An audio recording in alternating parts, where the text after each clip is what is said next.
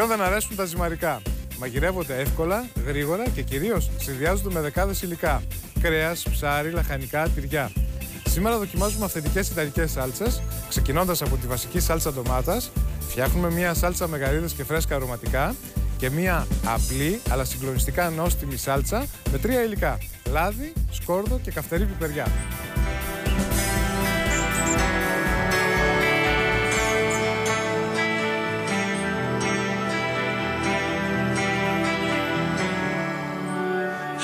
Ξεκινάμε πρώτα με τη σάλτσα ντομάτας. Αυτή είναι μια βασική σάλτσα ντομάτας η οποία εκτός από τα ζυμαρικά σαφώς μπορείτε να την χρησιμοποιήσετε και για να φτιάξετε κάποιο κοκκινιστό ή κάτι άλλο. Θα σας το πω στην πορεία. Σε πρώτη φάση να ξεκινήσω ανάβοντας την αιστεία μου. Λάδι στην κατσαρόλα. Και ξεκινάω με τη βασική σάλτσα ντομάτας. Η καλύτερη εκδοχή της είναι να τη φτιάξουμε με ντομάτες πομοντόρια όταν είναι στην εποχή τους, δηλαδή εκεί γύρω στο τέλος Αυγούστου. Είναι οι καλύτερες ντομάτες γιατί έχουν την λιγότερη υγρασία. Αλλά πρώτα ξεκινάω σοτάροντας κρεμμύδι ψιλοκομμένο, σκόρδο. Εδώ έχω πολτό σκόρδου και θα σας πω στη συνέχεια πώς τον φτιάχνω. Είναι ένας πολτό σκόρδου ο οποίος έχει πολύ απαλή γεύση, είναι εύπεπτος και τον προτιμώ όταν μαγειρεύω. Εάν καεί πολύ το λάδι και ρίξω το κρεμμύδι και το σκόρδο, τότε αυτά θα καούν εξωτερικά και θα πικρίσουν. Επομένως, τα βάζω όλα από την αρχή και τα αφήνω να ζεσταθούν γλυκά-γλυκά. Μετά, έχω τοματάκια κονκασέ.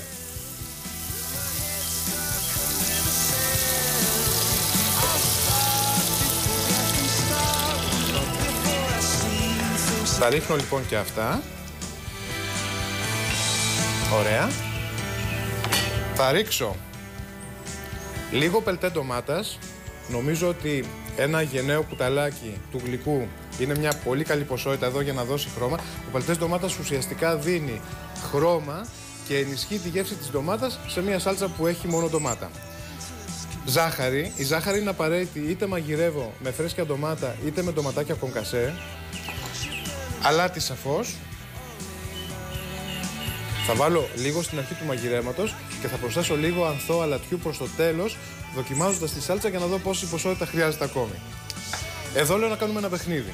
Δηλαδή, να ξεκινήσω και να βάλω λίγο ξερό θυμάρι και βασιλικό στην αρχή του μαγειρέματος και αυτή είναι η λογική όταν μαγειρεύω με ξερά μυρωδικά. Τα βάζω από την αρχή για να βγάλουν το άρωμά τους σιγά σιγά όσο μαγειρεύονται και θα βάλω στο τέλος λίγο φρέσκο θυμάρι και λίγο βασιλικό για να ενισχύσω τη γεύση. Ρίχνω λοιπόν και το βασιλικό.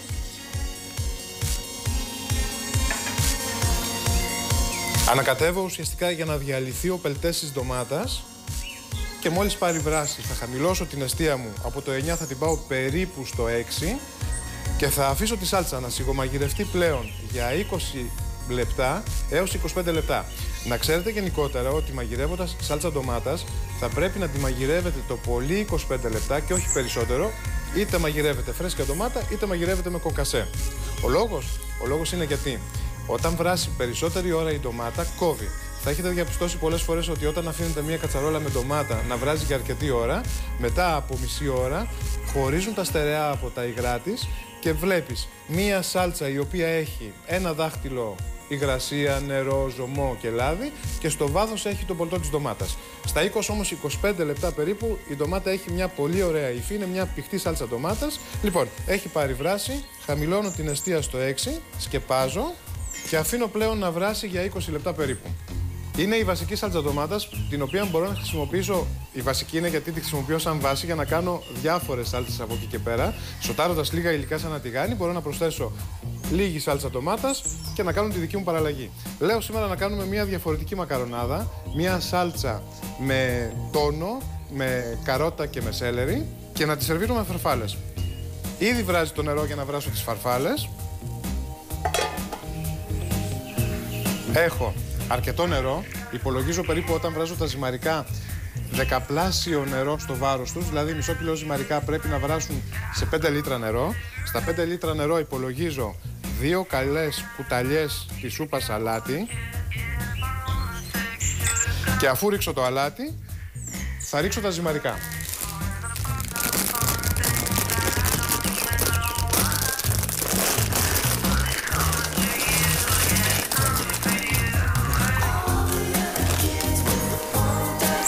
Δεν βάζω λάδι. Τα αφήνω να βράσουν. Επειδή έχω αρκετό νερό, θα τα βράσω στο χρόνο που γράφει η συσκευασία τους και θα τα ενώσω με τη σάλτσα. Μέχρι να βράσουν τα ζυμαρικά λοιπόν, ξεκινάμε με την παραλλαγή της σάλτσας με τόνο. Ξεκινάω κλασικά με λάδι, σκόρδο και κρεμμύδι και όπως σας είπα κρύα.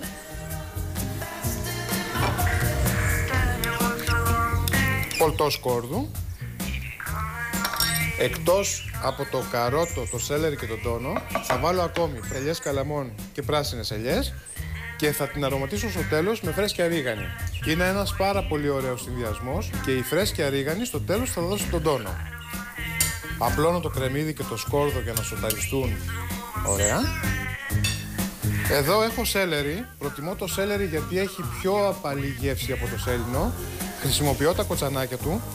Στην αγορά θα βρείτε δύο ειδών σέλερι. Θα βρείτε αυτό το σκουρόχρωμο και ένα πιο ανοιχτόχρωμο, το οποίο συνήθως δεν έχει φιλαράκια, αλλά τελειώνει κάπου στην άκρη εδώ, με πολύ λίγα φιλαράκια. Είναι περισσότερο κοτσανάκια.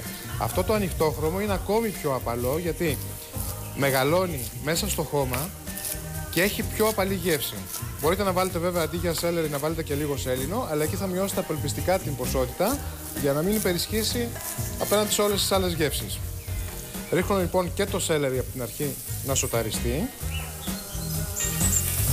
και καρότο, το οποίο επειδή θα σοταριστεί πολύ γρήγορα και θα μαλακώσει, προτιμώ να το κόψω σε πολύ λεπτές φετούλες για να το καταλαβαίνω στο τέλος του μαγειρέματος. Επομένως το κόβω σε λεπτές, πολύ λεπτές ροδέλες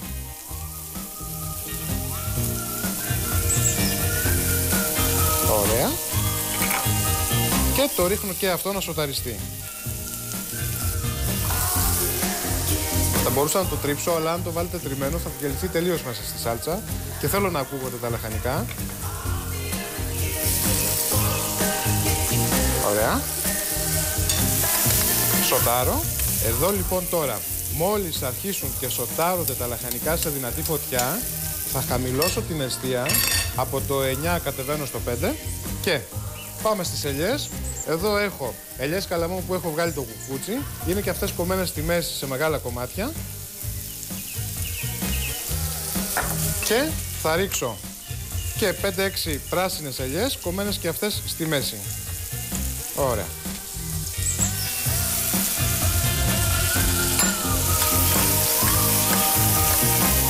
Αλάτι. Από μυρωδικά θα βάλω πρώτα ξερό θυμάρι. Το ξερό θυμάρι ταιριάζει έτσι κι αλλιώς με κάθε είδους μαγείρεμα. Δίνει ωραία βαθιά γεύση σε οποιαδήποτε σάλτσα συμμετέχει. Και όσο σοτάρω τα λαχανικά, εδώ η σάλτσα έχει σχεδόν βράσει, είναι έτοιμη. Είναι ακριβώς στην υφή έτσι ακριβώς όπως την θέλω. Έχει ελάχιστη υγρασία. Η ντομάτα έχει βράσει, έχει κρατήσει όλη της τη γεύση και τώρα είναι έτοιμη. Είτε να τη σερβίρουμε όπως είναι με ένα ζυμαρικό ή να την προσθέσουμε όπως σας είπα σε μια παραλλαγή, ξεκινώντας σοτάροντας πρώτα όλα τα υλικά και μετά προσθέτοντας στο τέλος σάλτσα ντομάτας. Θα ρίξω τόνο, εδώ είναι φιλέτο τόνου, σε λάδι ή σε νερό αν θέλετε.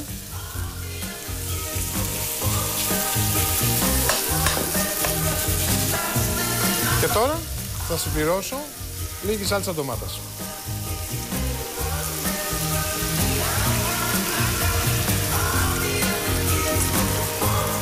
Θα τα αφήσω δύο λεπτά να βράσουν για να ενωθούν οι γεύσεις και πλέον είναι έτοιμη η σάλτσα για να ρίξω τα βρασμένα ζυμαρικά. Ο Μαϊντανός ξέρετε, πάει παντού. Αυτό που ίσως δεν γνωρίζετε είναι ότι η δύναμή του κρύβεται στα κοτσανάκια του που συνήθως τα κόβουμε και τα αφήνουμε στην άκρη.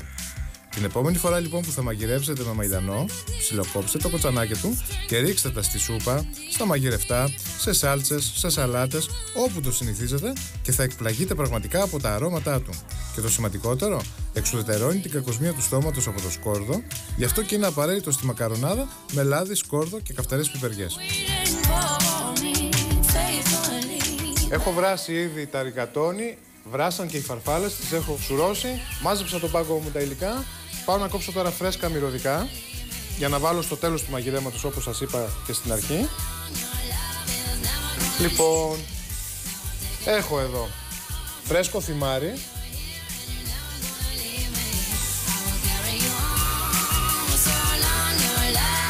Φρέσκια ρίγανη.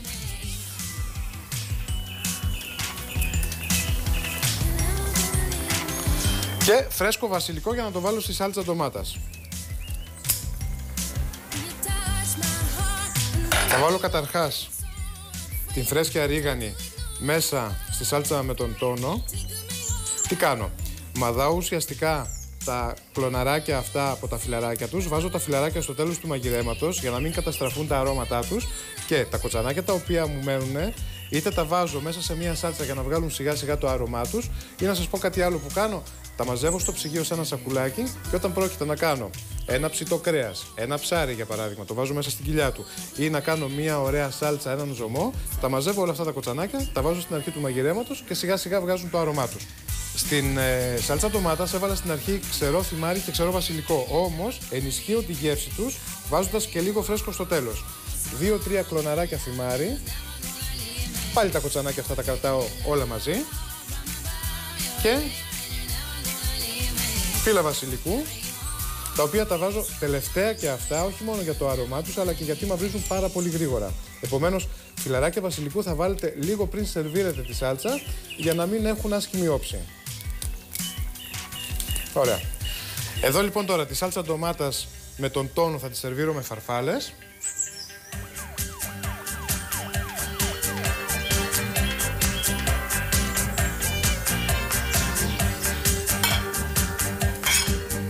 Οι φαρφάλες είναι βρασμένες και στραγγισμένες.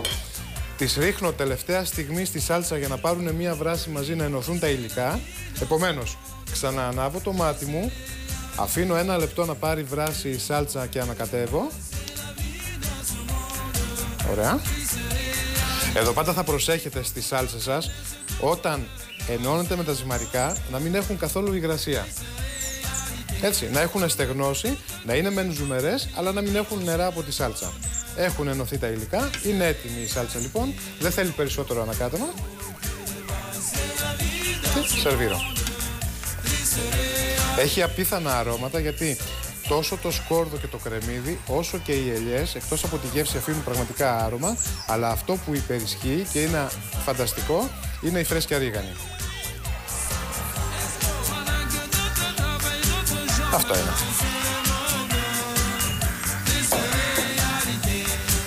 Και ένα κλωναράκι στο τέλος. Τώρα, τη σάλτσα ντομάτας θα τη σερβίρω με ριγκατόνι. Εδώ έχω βράσει τα ριγκατόνι και θα ρίξω τη σάλτσα αντίστροφα, θα τη ρίξω επάνω από τα ριγκατόνι και θα τα ανακατέψω μέσα στο πιάτο.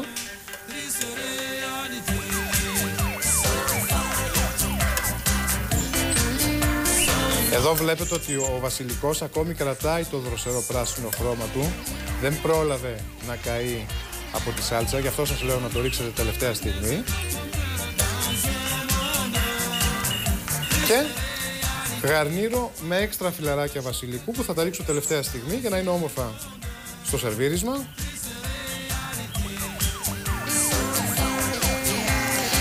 Σάλτσα ντομάτας Ναπολιτέν, η πιο βασική σάλτσα ντομάτας που μπορείτε να τη σερβίρετε με κάθε είδος ζυμαρικού. Σάλτσα ντομάτας με τόνο, ελιές, καρότο, σέλερι.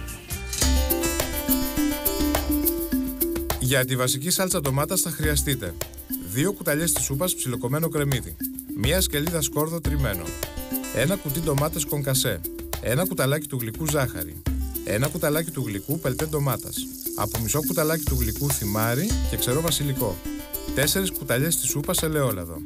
Για να τα σερβίρετε, ρικατόνι, φρέσκο θυμάρι και φρέσκο βασιλικό.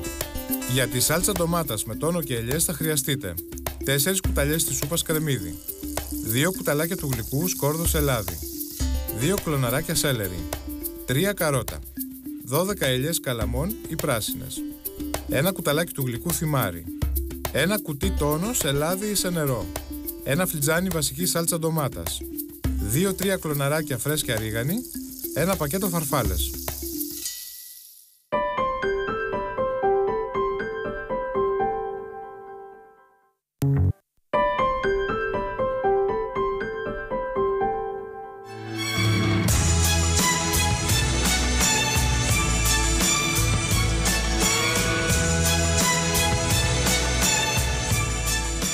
Θυμάρι και βασιλικός είναι δύο μυρωδικά που ταιριάζουν απόλυτα με τη σάλτσα ντομάτας. Κάθε φορά που μαγειρεύω λοιπόν σάλτσα ντομάτας για ζυμαρικά ή ένα κοκκινιστό, το θυμάρι και ο βασιλικός είναι τα απαραίτητα μυρωδικά. Για να τα χρησιμοποιήσουμε σωστά, βάζουμε ολόκληρα κοτσανάκια στην αρχή του μαγειρέματος, ενώ τα τρυφερά φιλαράκια τα βάζουμε στο τέλος όταν μαγειρευτεί το φαγητό. Υπάρχουν πολλά είδη βασιλικού και θυμαριού στην αγορά, όποιο και να χρησιμοποιήσετε είναι το ίδιο αρωματικό. Βασιλικό λοιπόν σε κάθε σάλτσα ντομάτας, θυμάρι σε όλα τα φαγητά και θρούμπι που είναι μια παραλλαγή του θυμαριού, ειδικά στα κρεατικά. Μία από τις πολύ εύκολες και εξαιρετικά νόστιμες μακαρονάδες είναι αυτή με τις γαρίδες. Νομίζω ότι αρέσει σε πάρα πολλούς, σχεδόν σε όλους. Πολλές φορές γίνεται όχι με τόσο σωστό τρόπο. Εδώ λοιπόν τώρα θα σας δείξω πώς θα κάνετε την πιο νόστιμη, την πιο εύκολη, την τέλεια γαριδομακαρονάδα. Καταρχάς θέλουμε γαρίδες. Εδώ έχω νοπές γαρίδες με το κεφάλι τους. Και τις έχω ολόκληρες γιατί το μυστικό της νοστιμιάς τους κρύβεται ακριβώς στο εσωτερικό, στο περιεχόμενο από το κεφάλι τους. Επομένως, όταν μιλάμε για πιάτα με γαρίδες όπως σάλτσα για ζυμαρικά ή σαγανάκι με γαρίδες, πρέπει οπωσδήποτε οι γαρίδες να είναι ολόκληρες.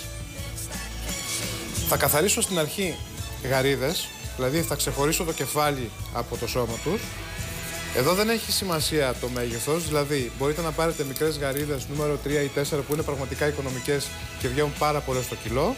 Μπορείτε όμως να πάρετε και νούμερο 1 ή 2 ή 0 που είναι πολύ μεγάλες και εξαιρετικά εντυπωσιακές. Σε κάθε περίπτωση έχουν την ίδια νοστιμιά. Τι κάνω λοιπόν για να τις καθαρίσω; Κόβω το κεφάλι τους, το κρατάω στην άκρη και τα κεφάλια αυτά θα τα σοτάρω μέσα στη σάλτσα για να δώσουν γεύση και καθαρίζω το σώμα. Ουσιαστικά βγάζω το κέλυφος και κρατάω το σώμα τους. Εδώ λοιπόν τώρα στην ράχη τους θα δείτε πως έχουν ένα μαύρο εντεράκι το οποίο θα πρέπει να το βγάλω προσεκτικά χαράζοντας με ένα μαχαιράκι την πλάτη. Γιατί αυτό εδώ το εντεράκι εάν το αφήσω και μαγειρευτούν θα είναι τραγανό και θα είναι κάπως ενοχλητικό. Επομένως χαράζω, βγάζω το εντεράκι και κρατάω τα σώματά τους για να δούμε ακόμη μια γαρίδα Κόβω λοιπόν το κεφάλι. Βγάζω το κέλυφος από το σώμα. Και τώρα θα δείτε ακριβώς εδώ στη ράχη, αν το χαράξω, αν τη χαράξω εδώ, βλέπετε ότι υπάρχει αυτό το τεράκι. Προσεκτικά με την άκρη του μαχαιριού το τραβάω και η γαρίδα είναι πλέον καθαρή. Εδώ τώρα θα υπολογίσουμε περίπου 200 γραμμάρια γαρίδες μαζί με το κεφάλι τους για κάθε μερίδα Καθαρίζω λοιπόν τα σώματα, τα αφήνω στην άκρη. Τι πρέπει να κάνω; Θα πρέπει να τα σουτάρω ξεχωριστά για να μην στεγνώσουν όπως μαγειρεύονται και να ξεκινήσω τη σάλτσα μου πρώτα με τα κεφάλια από τις γαρίδες. Ένα τηγάνι. Ανάβω την αστεία μου στη μεγαλύτερη ένταση στο 9 και ξεκινάω σοτάροντας κλασικά κρεμμύδι σκόρδο όπως κάνω σε κάθε σάλτσα. Ελαιόλαδο λοιπόν.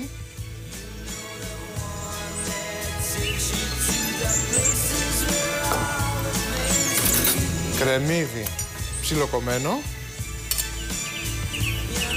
Εδώ για να έχετε μια εικόνα κάθε φορά πόσο κρεμμύδι χρησιμοποιώ όταν μαγειρεύω, υπολογίστε μία κουταλιά της σούπας για κάθε μερίδα. Φτιάχνοντας λοιπόν τέσσερις μερίδες φαγητού, θα βάλω τέσσερις καλές κουταλιές κρεμμύδι ψιλοκομμένο.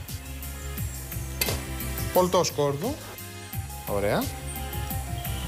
Και τώρα, θα τα αφήσω σε δυνατή φωτιά για 2-3 λεπτά μέχρι να πάρει μπρος, να ζεσταθεί το λάδι και να αρχίσει να σοτάρει το κρεμμύδι με το σκόρδο. Εδώ είμαστε. Ωραία. Τα υπόλοιπα υλικά που θα χρησιμοποιήσω είναι κονκασέ ντομάτας, αλάτι, Και ζάχαρη φυσικά, γιατί κάθε φορά που μαγειρεύω με ντομάτα, κονκασέ ή φρέσκια, πρέπει να βάλω και λίγη ζάχαρη για την οξύτητα. Μέχρι να ζεσταθεί το λάδι με το κρεμμύδι, θα βάλω το νερό μου εδώ για να βράσω τα λιγκουίνι. Ωραία. Λέω σήμερα να βράσω λιγκουίνι μαζί με την σάλτσα με γαρίδες. Οι Ιταλοί γενικότερα έχουν μια φιλοσοφία στα ζυμαρικά. Κάθε σχήμα ταιριάζει με μια σάλτσα. Έτσι λοιπόν, ζυμαρικά με σχήμα όπως το λιγκουίνι, το σπαγκέτι, τα μπαβέτε ταιριάζουν ιδανικά με σάλτσες που έχουν θαλασσινά, γαρίδες, μύδια, κιδόνια ε, και ντομάτα και ψιλοκομμένα λαχανικά. Θέλω ένα με δύο λεπτά σοτάρισμα σε πολύ δυνατή φωτιά για να μαλακώσει χωρίς να καεί. Και τώρα, αυτό που θα δώσει τον τόνο στη σάλτσα είναι η γεύση που έχουν τα κεφάλια της γαρίδας. Ρίχνω λοιπόν τα κεφάλια της γαρίδας να σοταριστούν. Τα αφήνω να πάρουν χρώμα. Και αυτό εδώ που κάνω είναι μία αυτοσχέδια σάλτσα μπίσκ στην επαγγελματική μαγειρική. Μπίσκ είναι η σάλτσα από τις γαρίδες, από τα κεφάλια μάλλον από τις γαρίδες ή από τους αστακούς, η οποία ενισχύει τη γεύση των πιάτων όπου βάζουμε θαλασσινά. Δηλαδή όπου βάζουμε γαρίδες, όπου βάζουμε οστρακόδερμα γενικότερα. Αυτή είναι μια πάρα πολύ απλή εκδοχή, χωρίς να κάνουμε όλη τη διαδικασία. Σοτάρω τα κεφάλια της γαρίδας, 2-3 λεπτά σε δυνατή φωτιά για να πάρουν χρώμα. Σβήνω με λευκό κρασί.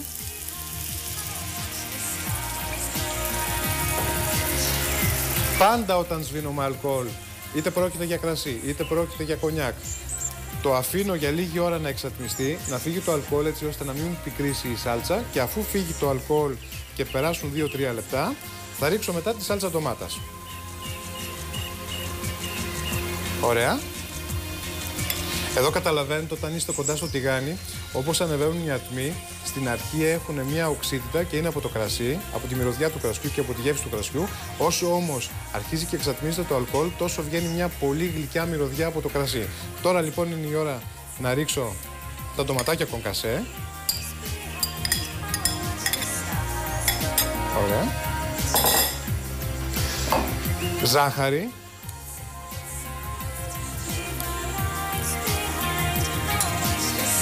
Αλάτι.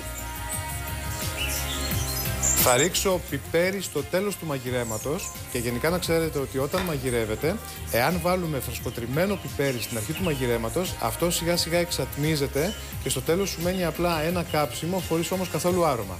Δοκιμάστε όμως να βάλετε φρεσκοτριμμένο πιπέρι αφού μαγειρευτεί η σάλτσα ή το φαγητό, οποιοδήποτε φαγητό μαγειρεύετε και εκεί θα δείτε πραγματικά μια εκπληκτική μυρωδιά που αναδύει το πιπέρι, το φρεσκοτριμμένο πιπέρι. Γι' αυτό και εγώ θα το βάλω στο τέλος μόλις ετοιμαστεί η σάλτσα. Από μυρωδικά θα βάλω λίγο θυμάρι. Εδώ βάζω ξερό θυμάρι στην αρχή, θα βγάλει τα αρώματά του, αλλά μόλις ετοιμαστεί η σάλτσα θα βάλω μετά φρέσκα μυρωδικά.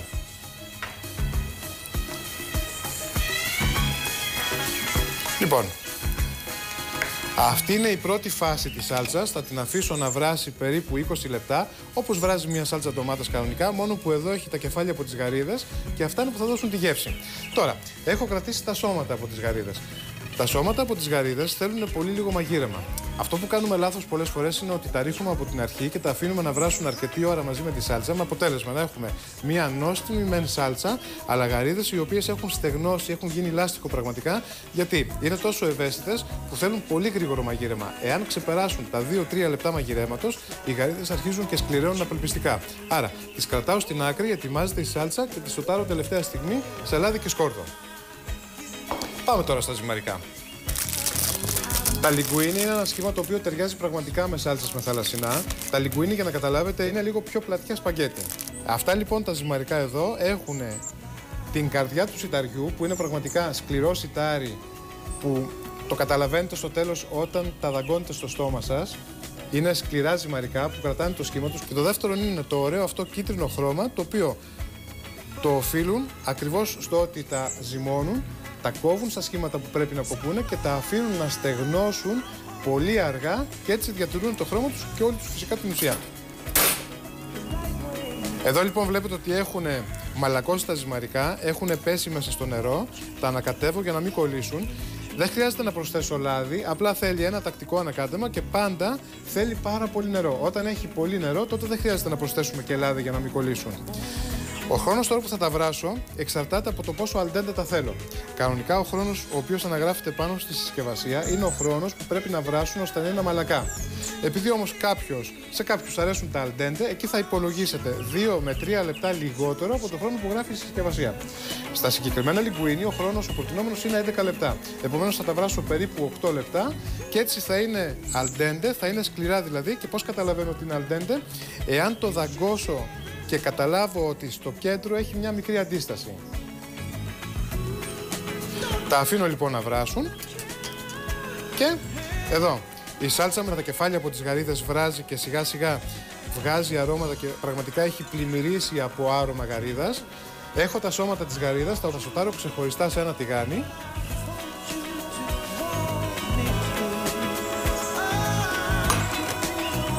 Βάζω λοιπόν στην μεγαλύτερη ένταση την αστεία, ελαιόλαδο.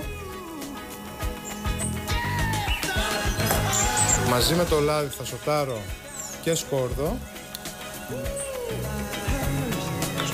Και θα αφήσω τώρα το λάδι με το σκόρδο για ένα-δύο λεπτά επάνω στο μάτι μέχρι να ζεσταθεί το λάδι και να αρχίσει να σοτάρετε το σκόρδο.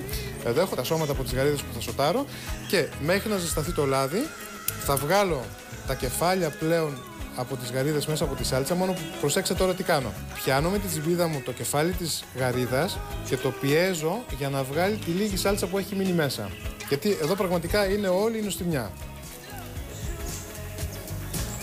Και αυτός είναι ο μόνος τρόπος και ο καλύτερος τρόπος για να ενισχύσω τη σάλτσα γευστικά, για να έχει πλούσια γεύση γαρίδας. Και αφού η σάλτσα έχει βράσει για λίγη ώρα σε μέτρια ένταση, θα ανεβάσω και πάλι την ένταση στην αιστεία. Ωραία. Πάμε λοιπόν ξανά στο 9. Για να πήξει πλέον, για να στεγνώσει λίγο από την υγρασία της. Λοιπόν,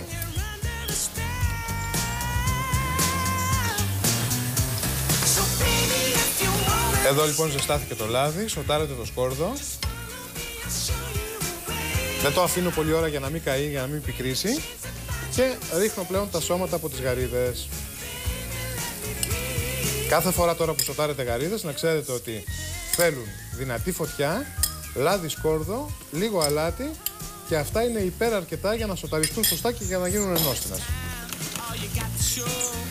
Αλάτι και πιπέρι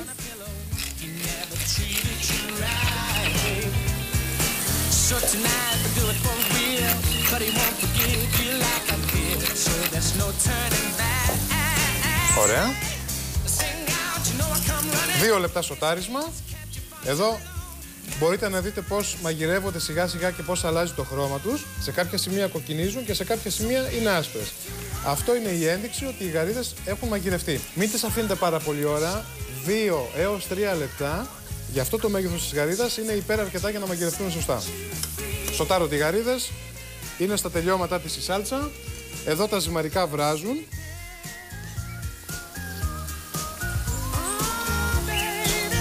Είναι έτοιμα, οπότε πάω να τα στραγγίσω. Λοιπόν, τα ρίχνω εδώ στο σουρωτήρι. Ωραία. Και αυτό που δεν πρέπει να κάνω πλέον είναι να τα ξεπλύνω. Τα αφήνω να στραγγίσουν πολύ καλά.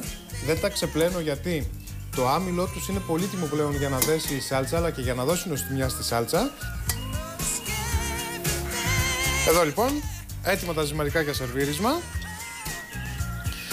Η σάλτσα ντομάτας είναι έτοιμη, οι γαρίδες έχουν σοταριστεί. Αυτό που θα κάνω είναι να ενώσω τις γαρίδες με τη σάλτσα. Τις ρίχνω λοιπόν μέσα στη σάλτσα. Θα τις αφήσω κυριολεκτικά ένα λεπτό να πάρουν βράση και να ενωθούν με τα υπόλοιπα υλικά και θα κόψω λίγο φρέσκο μαϊντανό.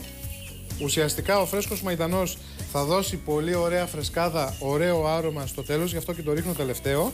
Και όπως βλέπετε εδώ, κόβω και λίγο από τα κοτσανάκια τους, γιατί τα κοτσανάκια του μαϊντανού είναι αυτά που έχουν όλο το άρωμα, όλη τη γεύση. Επομένως, κόβω λίγο ένα μικρό μέρος από τα φύλλα και ένα μικρό μέρος από τα κοτσανάκια του. Ψιλοκομμένος λοιπόν μαϊντανός.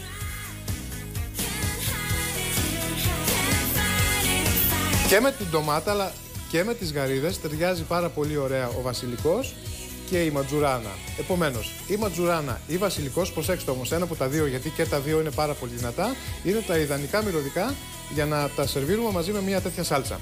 Έχω λοιπόν φύλλα φρέσκου βασιλικού,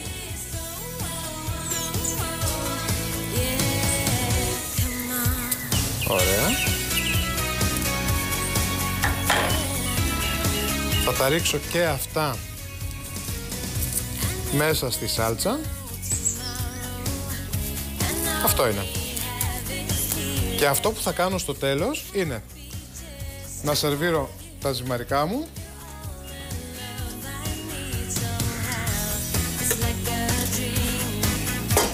για να τα φέρω δίπλα στη σάλτσα. Λοιπόν, αυτό που πρέπει να κάνετε κάθε φορά που βράζετε τα ζυμαρικά είναι να είναι φρεσκοβρασμένα, στραγγισμένα και κατευθείαν μέσα στη σάλτσα. Μην τα ξεπλύνετε όπως σας είπα, γιατί όταν τα ξεπλένουμε βγάζουν το άμυλό τους, φεύγει το άμυλό τους και το άμυλο είναι αυτό που κρατάει και την νοστιμιά από τα ζυμαρικά, αλλά παράλληλα δένει και τη σάλτσα. Επομένως, μόλις σας τρακίσω, τα ρίχνω μέσα στη σάλτσα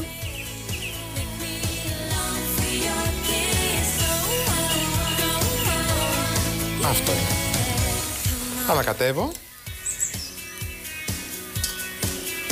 Και όπως βλέπετε είναι μια πολύ απλή, πολύ εύκολη μακαρονάδα, όμως με πάρα πολύ γεύση. Τόσο από τις γαρίδες όσο και από τα φρέσκα μυρωδικά.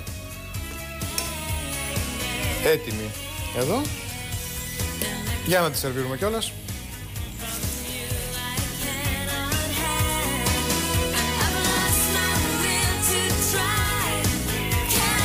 Αυτό είναι. Πρώτα τα ζυμαρικά. Και στο τέλος βάζω την σάλτσα και κυρίως βάζω στο τέλος την σάλτσα όταν έχει κομμάτια από λαχανικά, από θαλασσινά ή από κρεατικά. Τώρα σε αυτή την περίπτωση είναι οι γαρίδες με το φρέσκο βασιλικό. Αυτό είναι. Ένα-δύο φιλαράκια φρέσκου βασιλικού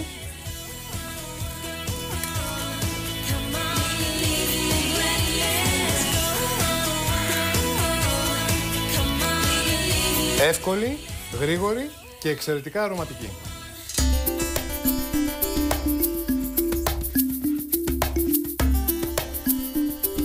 Για τη σάλτσα με γαρίδες και βασιλικό θα χρειαστείτε ένα πακέτο λιγκουίνι, μισό κιλό γαρίδες με κέλυφος, ένα μέτριο ξερό κρεμμύδι ψιλοκομμένο, δύο σκελίδες σκόρδο τριμμένο, ένα κουτί ντομάτες κονκασέ, ένα τέταρτο του φιτζανιού λευκό κρασί, ένα κουταλάκι του γλυκού θυμάρι, ένα κουταλάκι του γλυκού ζάχαρη, δύο κουταλιές της σούπας ψιλοκομμένο μαϊντανό, φύλλα φρέσκου βασιλικού, ελαιόλαδο, φρέσκο βασιλικό για το σερβίρισμα.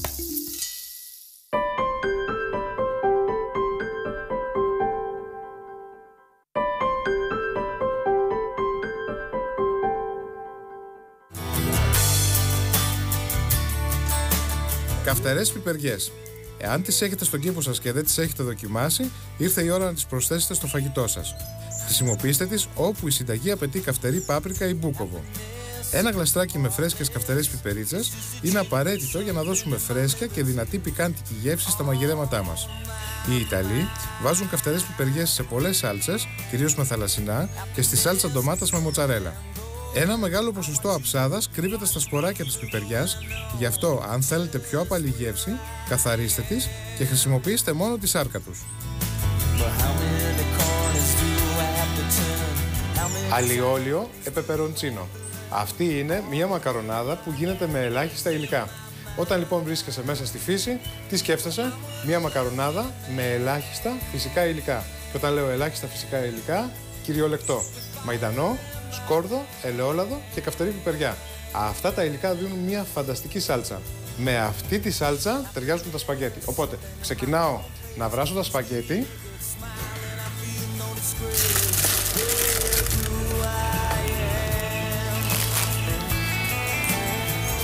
Έχω βάλει ήδη στην κατσαρόλα νερό αλατισμένο, βράζει. Θα ρίξω λοιπόν εδώ θα κάνω περίπου μία μερίδα, οπότε ρίχνω μια μικρή ποσότητα από σπακέτι. Ωραία. Θα τα αφήσω λίγο να μαλακώσουν, να πέσουν μέσα στο νερό και πάω να κάνω τη σάλτσα. Λοιπόν, καταρχάς, τηγάνι. Ανοίγω την αιστεία μου στη μεγαλύτερη ένταση. Αυτή είναι μια μακαρονάδα κλασική από το κέντρο της Ιταλίας και νομίζω ότι είναι μία από τις πιο νόστιμες και τις πιο απλές μακαρονάδες διεθνώς. Σκόρδο φρέσκο. Εδώ έχει σημασία το σκόρδο να είναι ομό και όχι ο πολτός σκόρδο που χρησιμοποιώ πολλές φορές στη μαγειρική μου, γιατί εδώ θέλω πραγματικά πάρα πολύ δυνατή γεύση σκόρδου. Κόβω λοιπόν το σκόρδο σε πολύ λεπτές φέτες και μην ανησυχείτε για την μυρωδιά του και για τη γεύση του. Είναι πραγματικά πολύ δυνατή, όμως έρχεται σε μια φοβερή ισορροπία με την καυτερή πιπεριά και με τον μαϊντανό. Υπολογίζω μία μεγάλη σκελίδα για κάθε μερίδα. Εδώ θα κάνω μία μερίδα, επομένως βάζω δύο μέτριες σκελίδες, είναι υπεραρκετές. Και ελαιόλαδο.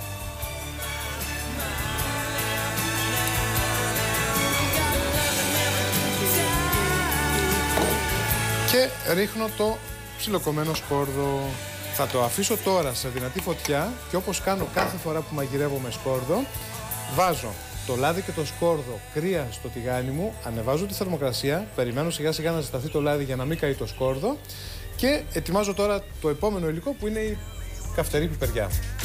Είναι πολύ δυνατές, αλλά αξίζει πραγματικά να μαγειρέψουμε με αρκετή ποσότητα Καυτερές λοιπόν πιπεριές. Εάν δεν έχετε φυσικά φρέσκες πιπεριές, μπορείτε να βάλετε τις αποξηραμένες, τις πεπεροτσίνι, τις μικρές τσίλι πιπερίτσες ή ακόμη στην ανάγκη μπορείτε να βάλετε και καυτερό μπούκοβο. Όμως το φρέσκο πεπεροτσίνο έχει εξαιρετικό άρωμα. Εδώ βάζω και τα σποράκια τους γιατί τα σπόρια στις πιπεριές ουσιαστικά έχουν όλη αυτή την αψάδα και τις ρίχνω και αυτές μέσα στο τηγάνι.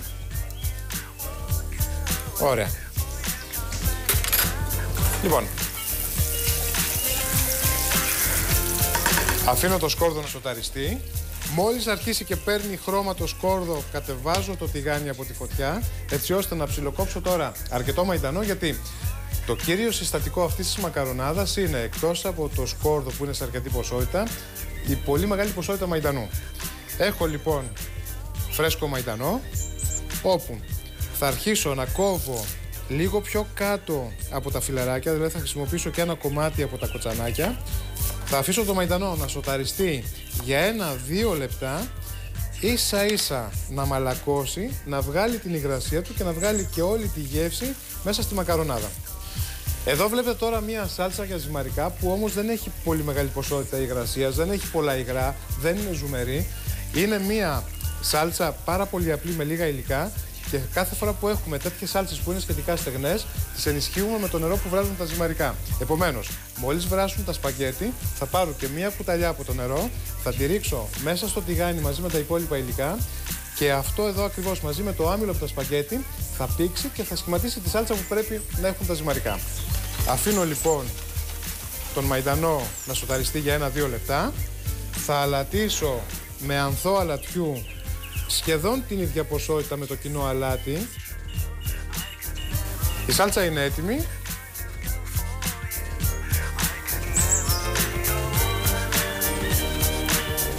Αυτό είναι. Έχουν βράσει τα ζυμαρικά, τα ρίχνω κατευθείαν μέσα στο τηγάνι και τώρα, όπως σας είπα, θα ρίξω και νερό μέσα από την κατσαρόλα εκεί που έχουν βράσει τα ζυμαρικά και πάντα το κάνω αυτό όταν έχω στεγνές σάλτσες, τις ενισχύω Ωραία.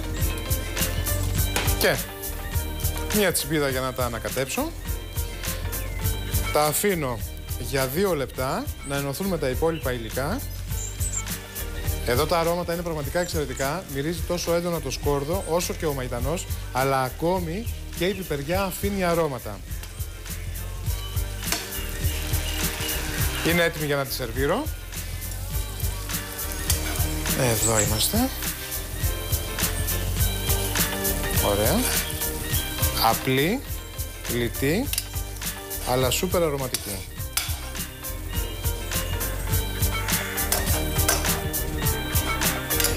Και αυτό που θα βάλω στο τέλος είναι τριμμένη παρμεζάνα, τελευταία στιγμή, με έναν τρίφτη που τρίβει την παρμεζάνα πραγματικά όσο πιο λεπτά γίνεται.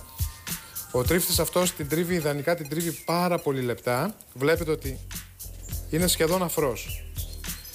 Εδώ να σας πω ότι δεν χρειάζεται να το παρακάνουμε στην παρμεζάνα. Όταν σερβίρουμε παρμεζάνα με τα ζυμαρικά, καλό είναι να βάζουμε μία μικρή ποσότητα και να είναι τριμμένη όσο γίνεται πιο λεπτά, έτσι ώστε η γεύση της να μην σκεπάζει τη γεύση της μακαρονάδας. Θα ψιλοκόψω και μία τσίλι πιπεριά για να τη βάλω στο τέλος για να γαρνίρω το πιάτο και για να δώσει ακόμη πιο πολύ αψάδα και πιο πολύ ακόμη άρωμα πιπεριάς.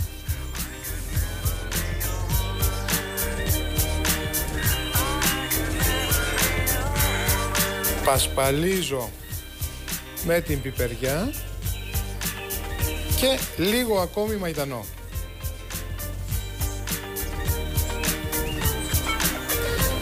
Αυτή είναι λοιπόν η αλιόλιο επεπερουντσίνο. Είναι μια κλασική ιταλική μακαρονάδα με πολύ λίγα υλικά και με ένα εξαιρετικό άρωμα.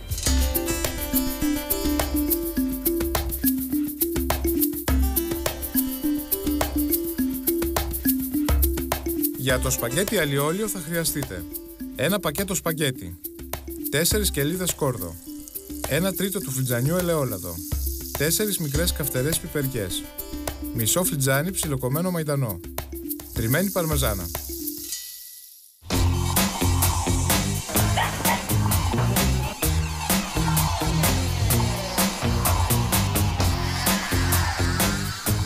Σας είπα στην αρχή της εκπομπής για έναν πολτό σκόρδο που χρησιμοποιώ στο μαγείρεμά μου. Αυτός είναι ένας πολτός από σκόρδο το οποίο βράζω τρεις φορές και το πολτοποιώ με ελαιόλαδο και το διατηρώ στο ψυγείο. Με αυτόν τον τρόπο το σκόρδο είναι πιο εύπεπτο, κρατάει όλη του τη γεύση, όλη του την οστιμιά και δεν είναι ενοχλητικό τόσο στην ανάσα μου όσο και στο στομάχι μου.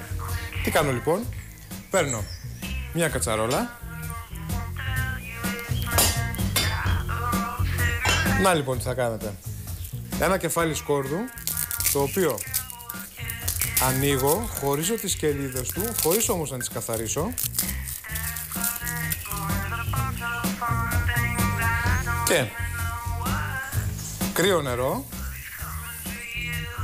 τόσο ώστε να καλυστούν με το νερό και τις βάζω σε δυνατή φωτιά, δηλαδή ανάβω την αιστεία στη μεγαλύτερη ένταση, σκεπάζω την κατσαρόλα και από τη στιγμή που αρχίζει να κοχλάζει το νερό υπολογίζω περίπου 3-4 λεπτά βρασίματος. Αφού λοιπόν βράσουν στα 3-4 λεπτά θα τη σουρώσω και θα επαναλάβω αυτή τη διαδικασία τρεις φορές. Την τρίτη φορά θα τα ξαναβράσω και τότε είναι έτοιμο για να τα πολτοποιήσω.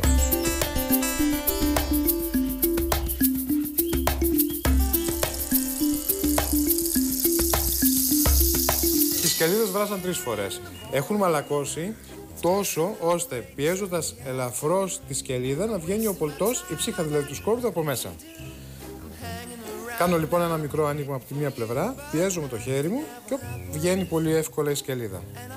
Μαζεύω όλες τις βρασμένες σκελίδες και ρίχνω τις βρασμένες σκελίδες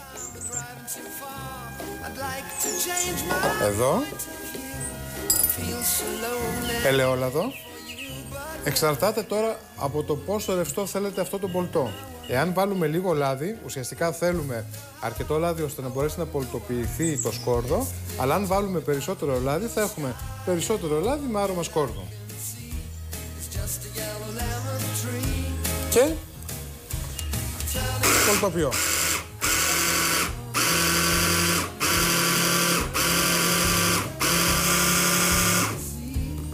Έτοιμος λοιπόν ο πολτός. Τον αδειάζω σε ένα μπολ. Μπορώ να τον αδειάσω και σε ένα βάζο που κλείνει, αρκεί σε κάθε περίπτωση να είναι καλυμμένος με ελαιόλαδο. Το ελαιόλαδο λειτουργεί σαν συντηρητικό. Θα το σκεπάσω με μία μεμβράνη τροφίμων ή θα κλείσω το καπάκι στο μπολ, θα το αφήσω στο ψυγείο και το αφήνω μέχρι να το ξαναχρησιμοποιήσω.